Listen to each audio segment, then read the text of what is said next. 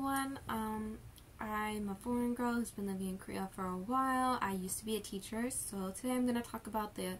current E2 visa situation. So, of course, you can always find jobs, um, maybe not good jobs in Korea.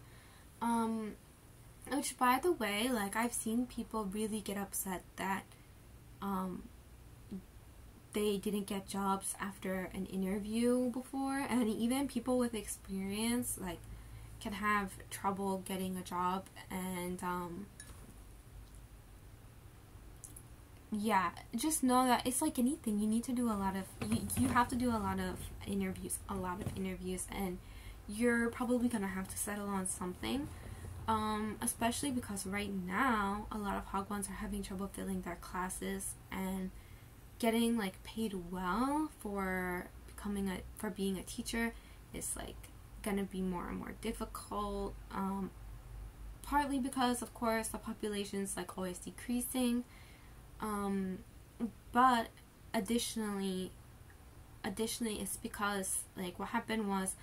um, of course people left Hagwons when COVID first happened and then we started doing like online and then in person with mask and then of course they released COVID restrictions and the all of these hagwons had a lot of growth during that time. And then just recently a lot of parents did not see the progress they wanted or they COVID restrictions are up so they wanted a tutor or for just general it's become more competitive because there's less less people as well there's less demand and um, a lot of Hagwons are really struggling to fill their classes even if the teachers are doing a good job um, but of course having good teachers just always like helps um, but I don't think teachers can be blamed when a Hagwon is like losing a lot of students um, I mean Korean teachers a little bit because they do talk to the parents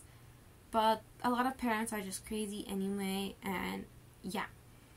That being said, a lot of people are getting laid off because their schools are closing classes. They were like opening a bunch of new classes like a year, two years ago, and now schools are closing classes. So they don't need as many teachers and people are getting laid off, which means that it will be harder for new people to come in. Not to say that you can't come in, but that's what's going on right now. Um, yeah.